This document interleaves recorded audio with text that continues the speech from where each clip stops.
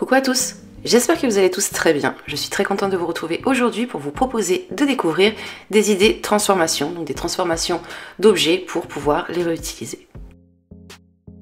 On commence tout de suite avec quatre cadres. Donc là, on peut réutiliser quatre vieux cadres qui ne nous plaisent plus ou euh, dont on n'a plus l'utilité. Je commence dans un premier temps par enlever euh, tout ce qui se trouve dessus, donc le carreau ainsi que le fond. Et après ça, euh, bah, j'ai gardé juste l'encadrement que j'ai ensuite peint. Pour peindre, j'ai utilisé de la peinture en bombe dans un coloris blanc cassé. Une fois ça fait, j'ai pris un petit patron, donc un morceau de papier que je vais pouvoir euh, glisser comme ceci à l'intérieur du cadre.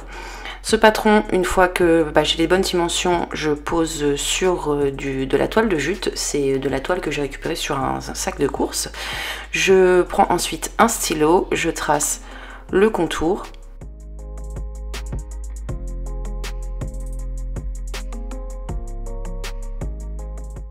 Je répète l'opération trois fois encore de façon à avoir quatre pièces identiques. Une fois que c'est tracé, je découpe. Voici donc ce que j'obtiens. Ces morceaux de toile de jute, je vais venir en placer un dans chacun de mes cadres, donc comme ceci. Et une fois que c'est en place, je viens refermer à l'aide de mon carreau. Ensuite, les fonds en bois ou en carton, qui servent généralement à maintenir le cadre debout, il va falloir que je les rajoute. Il aurait fallu que je les rajoute maintenant. Malheureusement, je les ai rajoutés après. Ça m'a posé un petit souci. Donc, si de votre côté, vous réalisez cette création, n'hésitez pas à remettre tout de suite votre fond en espèce de, contreplaqué. Donc, j'ai euh, remis, j'ai mis euh, ma toile de jute dans chacun de mes cadres. Et une fois qu'ils sont tous refermés avec le carreau, je vais les coller les uns aux autres de cette façon. Donc là, j'ai utilisé de la colle à bois. Ça a été un petit peu plus long que si j'avais utilisé de la colle forte au niveau de la prise. Si vous voulez une prise rapide, n'hésitez pas justement à utiliser de la colle forte. Donc voilà comment j'ai collé le tout.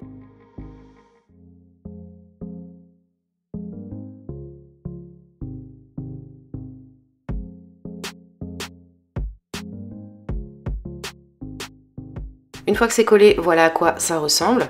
Je vais maintenant coller mes petites plaques dont je vous parlais euh, tout à l'heure. Donc il s'agit de ces plaques-là. Je vais pouvoir en remettre deux sans aucun souci. Donc je mets la première que je colle, hein, bien entendu.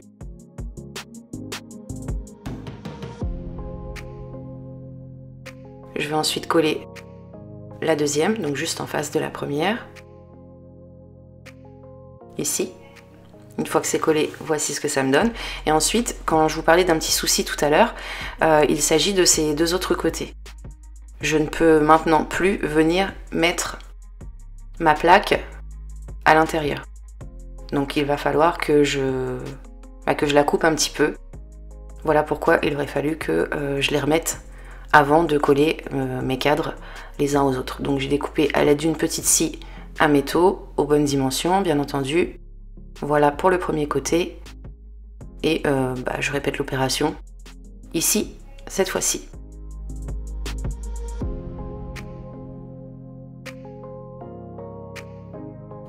Donc voilà, tout est maintenant collé. Je vais venir à cette pièce y ajouter un fond.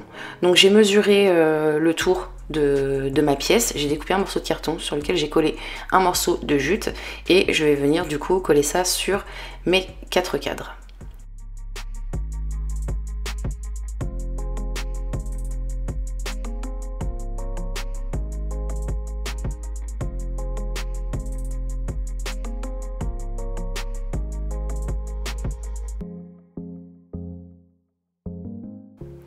Maintenant que c'est collé, j'ai donc un fond à ma boîte. Je vais venir prendre de la corde. C'est de la corde que j'ai trouvée chez Action, mais ça fait un moment je ne la trouve plus. Si jamais elle se vend euh, au rayon fleurs euh, et plantes artificielles, peut-être que vous de votre côté dans vos actions vous aurez la chance de pouvoir la retrouver. Donc j'en colle comme dit précédemment un morceau de chaque côté pour euh, réaliser des petites poignées et une fois que c'est collé, et eh bien j'ai terminé ce qui va me servir de petite boîte de rangement et également de petites boîtes décoratives.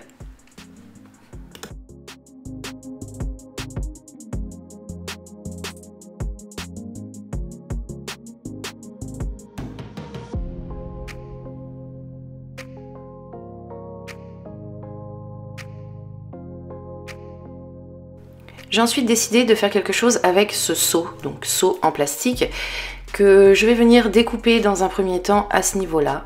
Donc euh, sur, euh, je sais pas, je dirais environ 4 à 5 cm, plutôt 3-4 que j'ai découpé avec une, une, petite scie. Donc cette partie-là, je la mets de côté pour le moment et je vais venir faire une nouvelle découpe cette fois-ci à ce niveau-là pour récupérer la partie du haut. Donc là encore une fois, avec ma petite scie à métaux, je découpe. Donc voilà, cette partie-là que j'ai dans la main gauche, je la mets de côté, je vais la réutiliser tout à l'heure pour en faire autre chose. Mais pour ce tuto, je vais garder du coup euh, ces deux parties, donc la partie du bas et euh, l'anneau qui se trouvait juste en haut. Je mets l'anneau de côté, je garde la partie du bah, le fond du seau que je peins entièrement intérieur et extérieur avec une peinture que j'ai choisie de couleur verte. Une fois que c'est peint, voici ce que ça me donne. C'est beaucoup plus propre, beaucoup plus net. Je mets cette euh, partie de côté, je reprends celle-ci, je la peins également dans le même coloris. J'ai choisi du vert, une peinture que j'ai trouvée chez Action au rayon loisirs créatifs adultes. Je vais maintenant prendre des baguettes en bois. Ce sont des baguettes que j'ai récupérées sur une natte à sushi. J'aurais très bien pu utiliser des pics à brochettes. Mais je trouvais ça mieux étant donné que c'est un petit peu plus épais. Donc j'ai retourné l'anneau et euh, souvent sur ce type de seau, il y a des petits trous au niveau euh, de, bah, de l'envers.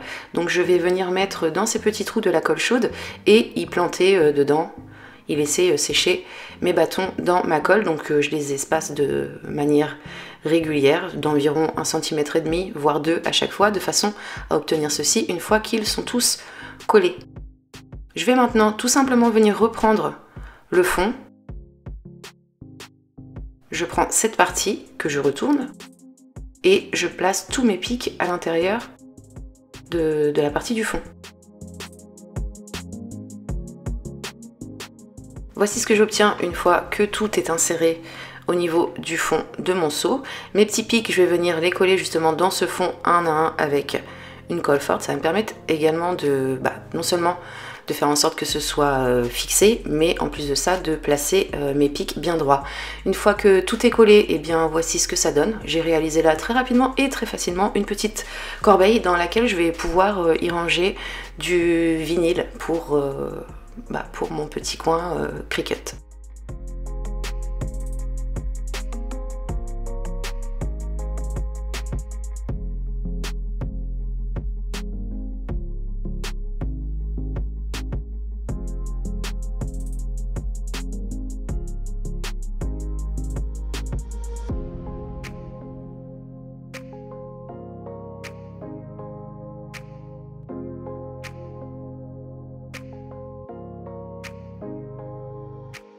Je vais maintenant faire quelque chose avec cette partie-là, donc euh, ce qui me restait de mon seau. Ça m'embêtait de le jeter, j'ai décidé de tester quelque chose, mais j'étais vraiment pas sûre que ça fonctionne. J'ai pris un morceau de carton et euh, j'ai posé très grossièrement de la colle en essayant de faire une forme ovale. Donc on peut voir que mon, ovale n'est pas très joli. Donc euh, bah, j'ai bien étalé ma colle correctement donc là j'ai utilisé de, la glu, il me fallait vraiment une prise rapide, sinon ça aurait été beaucoup trop, euh, embêtant. J'ai pris euh, mon morceau de plastique et j'ai appuyé dessus comme ceci afin de coller de, forme ovale tout simplement. Donc j'ai attendu quelques minutes quand même hein, que, ça prenne. Une fois que euh, la colle avait pris, voici ce que ça me donne. Je suis venue renforcer quand même au niveau de l'intérieur avec de la colle chaude pour avoir quelque chose de, bien solide parce qu'avec la colle, euh, la colle euh, forte, j'avais peur que ça bouge. Donc voici ce que ça donne. C'est vraiment pas très joli pour le moment. Une fois que la colle a bien pris, j'ai découpé l'excédent de carton de façon à obtenir ceci. Donc là, j'étais pas encore euh, trop sûre de mon coup. J'ai continué, j'ai posé autour de, mon morceau de plastique à l'aide de colle chaude de la corde. Donc c'est de la corde qui fait, il me semble, 20 mètres de long, que je trouve chez Brico Dépôt pour moins de 5 euros. Chez Action, actuellement, je ne trouve plus de corde. Je ne sais pas si c'est votre cas, mais euh, ça fait un moment que j'en trouve plus. Donc là, je me suis arrêtée euh, après le premier tour de corde parce que je trouvais que c'était un petit peu trop évasé, ça ne me plaisait pas. Donc je me suis dit que j'allais tenter, tenter quelque chose. J'ai pris du scotch et euh, il m'a servi à venir resserrer ma pièce de façon à obtenir un, joli ovale. Je, ne savais vraiment pas si en enlevant le scotch après ça allait tenir, mais euh, vous verrez ensuite. Donc euh, une fois que j'ai placé le scotch, que j'ai même resserré un petit peu après, j'ai continué la pose de, la corde et c'est là que je suis venue couper mon scotch afin de voir euh, si ça avait fonctionné et ça a tout à fait bien fonctionné, voire même un petit peu trop. C'était un petit peu trop resserré, mais euh, c'est ce que je voulais. J'aimais vraiment pas la façon dont c'était évasé au, tout début. Donc euh, bah, le résultat me plaît plutôt bien comme ça. Je suis ensuite passée à la peinture que j'ai choisie de couleur noire. Donc j'ai peint au niveau de l'extérieur mais également au niveau de l'intérieur de façon à obtenir ceci. Ensuite, au niveau de chaque côté, j'ai posé des petites poignées que j'ai récupérées sur un vieux panier. Euh, j'ai posé ça, j'ai collé ça avec euh, une colle forte. Et donc, euh, eh bien, j'ai terminé, ce qui va me servir de petit rangement pour mes pelotes de laine ainsi que, que mes aiguilles. Je sais pas ce que vous pensez du résultat, moi j'en suis plutôt très contente, sachant que je suis partie d'un morceau de seau en plastique.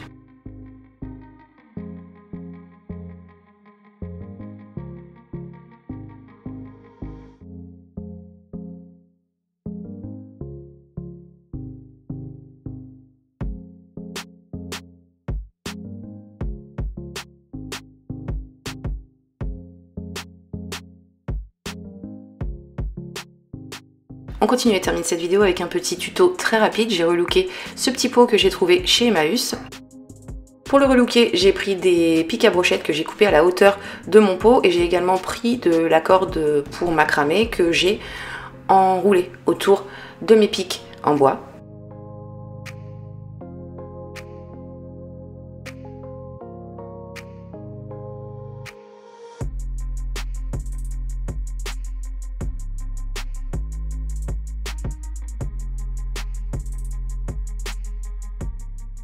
Une fois que mon pic est couvert, voici à quoi il ressemble. J'en réalise plein plein et je les colle tout simplement tout autour de mon pot jusqu'à le recouvrir complètement.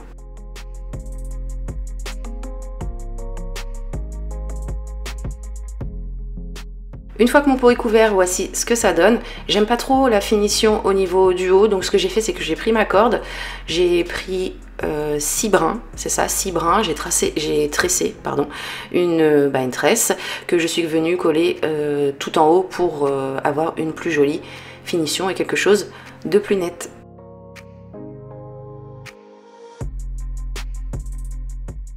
Une fois que c'est collé, j'ai déjà terminé, mon petit pot est maintenant relooké, voici le résultat.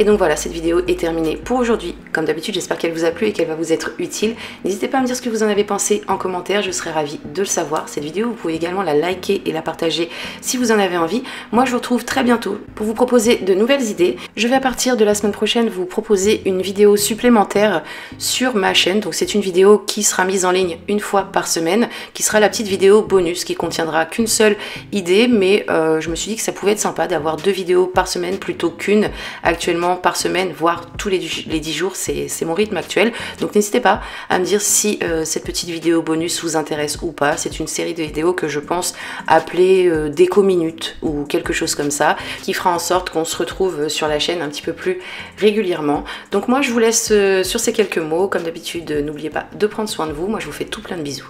Bye